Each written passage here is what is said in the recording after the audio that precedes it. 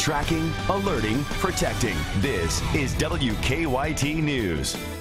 I hate to see things that are historical to me or mean things to me be destroyed or let go to wreck and ruin. A group from Estill County is trying to save their theater. And we're still tracking some showers through the area out there tonight, and the winds will be howling through the nighttime hours and part of your Monday. I'll have the latest forecast. We'll have the very latest on an officer involved shooting that happened early Sunday morning in Lexington. WKYT News starts now. Thanks for staying up late with us tonight. I'm Kristen Kennedy. One man is injured and two police officers are on administrative assignment tonight. The Lexington Police Chief tells us officers Wesley Farley and Christopher Mason were patrolling Berea Road last night when they walked past what they believed was a drug deal. And that's when one of the men involved, the chief says, tried to run the officers over with his truck. They fired shots and hit the driver. WKYT's Jordan Valines explains to us how the department is handling the shooting in our top story. Two Lexington police officers have been placed on administrative assignment after they were both involved in a shooting that took place around 4.30 Sunday morning. We're told that Officer Wesley Farley and Officer Christopher Mason were doing foot patrols on the Legacy Trail near Ironworks Pike when they came across a suspicious looking scene. Two vehicles with several people inside were parked outside Berea Christian Church and were believed to be conducting a drug deal. But when the officers approached the vehicles, the white passenger car sped off, nearly missing the officers.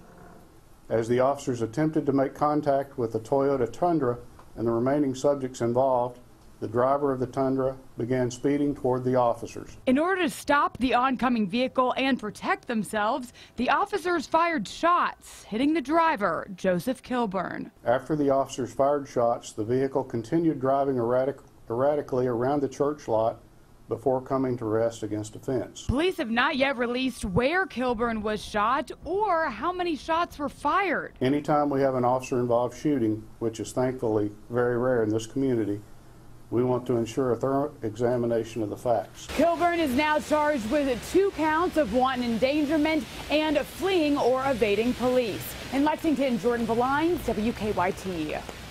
Officers say Joseph Kilburn was conscious when he went to the hospital. They will not discuss the extent of his injuries. We're tracking a developing story out of Madison County tonight. Richmond police are searching for a man they say tried to rob someone on EKU's campus. In an email sent to students and staff, the Emergency Management Department says the attempted armed robbery happened outside Clay Hall. We're told the man had a handgun. Police describe him as a black male with a medium complexion, about six feet tall, wearing a hat and a black and red jacket over a hooded sweatshirt. Police say he ran toward the Powell building, but they have not been able to track him down. EKU leaders say police did give the all clear about an hour ago. We will start off the work week on a pretty wet note. We saw almost an inch of rain earlier in downtown Lexington, and it looks like that rain will stick around for a little longer. Meteorologist Jim Caldwell is tracking those storms on the First Alert Defender. Yeah, plenty of activity rolling through the area today and a lot of wind associated with these showers. Tonight we're tracking mainly some lighter stuff sweeping through the area. It was uh, heavy from time to time, but most of that is rolling right on out of here. But we expect more showers into the day tomorrow for you. Winds. This is just the sustained wind activity that we have out there, and that's basically the constant presence of the wind wind, and we're talking 20, 25 miles per hour in many cases here in central Kentucky in between those two. You factor in the wind gust. 37 mile per hour wind gusts down in Richmond, 31 in Lexington coming in this hour. So we have some pretty strong wind gusts right now and more expected as we progress through the overnight. So a wind advisory really kicks in at 4 o'clock in the morning, though we're already experiencing some of the strong winds out there right now, and it runs through the day tomorrow all the way to 7 o'clock. So winds increase tomorrow. Cold blast also coming for midweek. That's going to help set up the snow chances as we go into Wednesday and also into Thanksgiving. We could be talking about some light accumulations, maybe a little more in other parts of Kentucky. We'll break it all down for you coming up here in just a few minutes.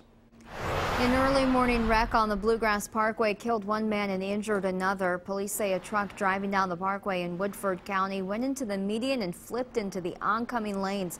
We're told 20-year-old Jalen Tong died in the crash. The coroner says Tong was from Bardstown. Crews did rush another man to UK hospital.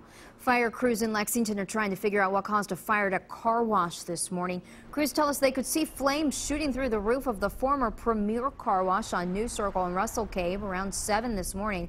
They were able to knock out the fire pretty quickly. We're looking at moderate damage just due to the nature of the building. Uh, it is an older bit of construction there. Uh, the fire had gotten up into the roof on us, so it was it had a, quite a head start on us.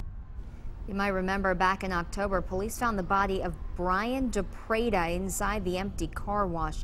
Thomas Lucky, Joseph Sledge, and Kavion Thomas are charged with murder and robbery in connection with that death. We have an alert tonight for people in Franklin County. Crews tell us some customers in the Farmdale Water District are under a boil water advisory because of a water main break earlier today. This includes anyone in the Evergreen Market area. We're told the advisory will last at least 24 hours. A teenager acquitted on charges of killing his stepbrother last year is back in jail tonight. U.S. Marshals and Louisville police captured Josh Young. Earlier this week, Young did not show up to court on a probation violation. Police arrested him on Woodgate Lane in the Hikes Point area. He's scheduled to be back in court December 15th.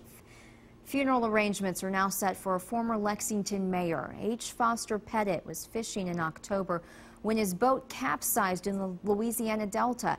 He cut his leg during that accident, and the cut caused a life-threatening bacterial infection.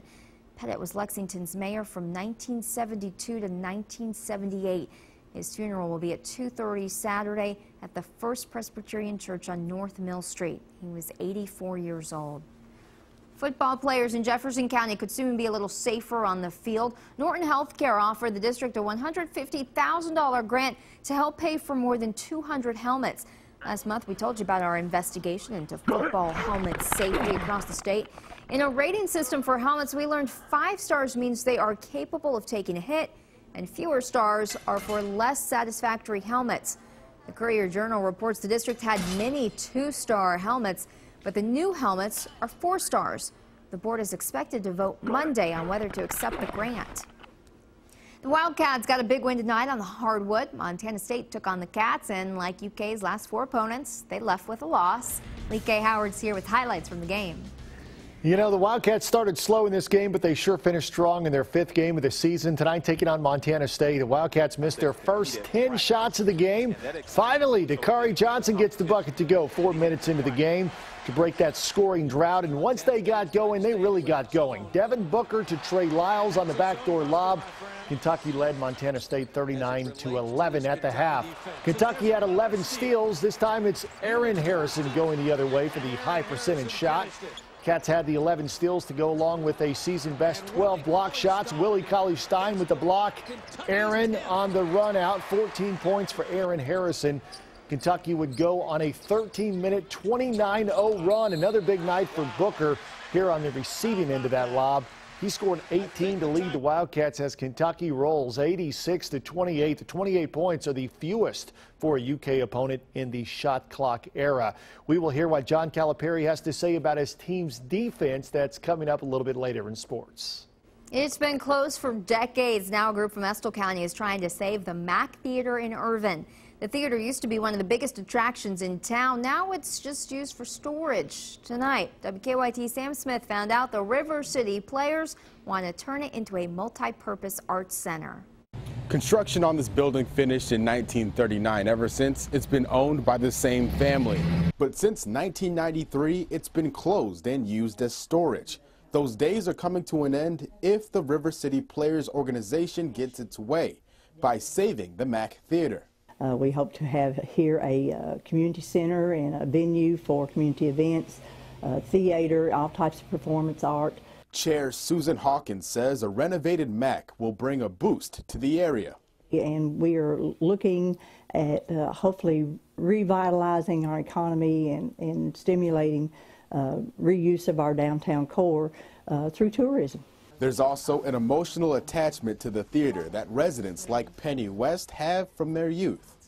This is very important. everyone has, just about everybody has a memory. It'll take $75,000 to buy the building. With the purchase comes all the original elements of the theater, including two projectors from the 1940s. Hawkins and West say that will be money well spent. And I hate to see things that are historical to me or mean things to me be destroyed or let go to rack and ruin. About 10% of that $75,000 goal has been raised so far. The River City players will use fundraisers and grants to make it the rest of the way. In Estill County, Sam Smith, WKYT. Organizers say it'll cost $500,000 to renovate the building after they purchase it. Coming up, we're checking in with a group of lucky Lexington High School students. You may see those superstars on national TV Thanksgiving Day. Buffalo, New York says all of the city streets are now passable days after more than seven feet of snow buried some neighborhoods. The worry now is what happens to all that snow as rain falls on top of it and the temperature continues to climb.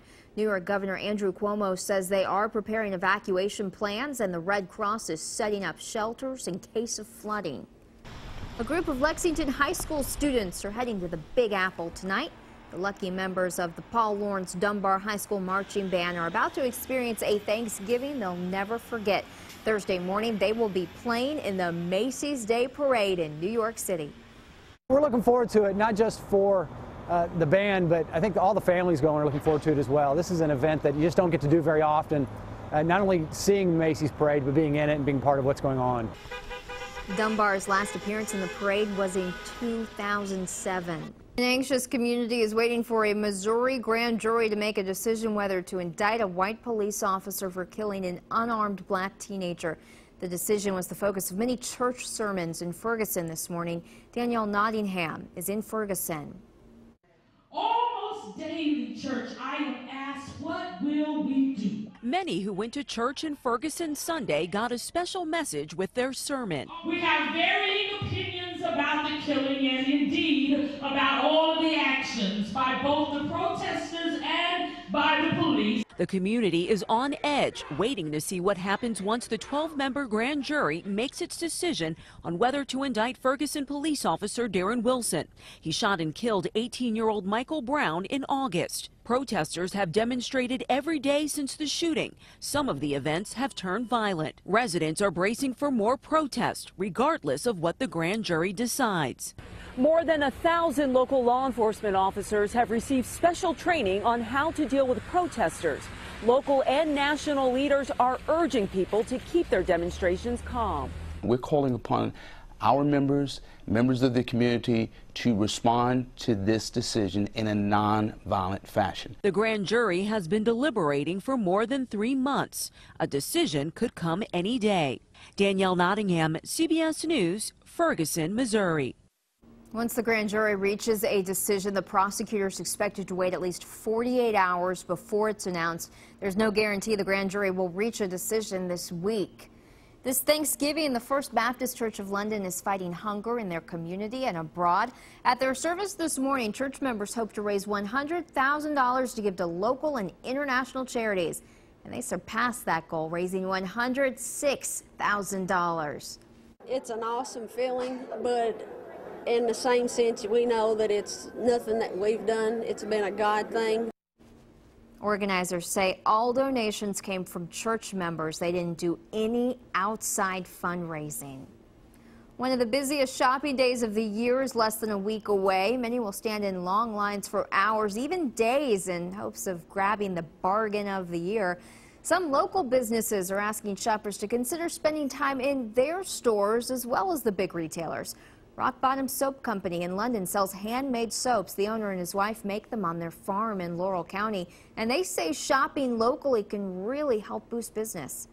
If someone spends $20 here, I go to their store, they spend $20, $30. We rotate that money in-house and it stays into our community. Some locally owned shops in southern Kentucky are offering special deals during the holidays.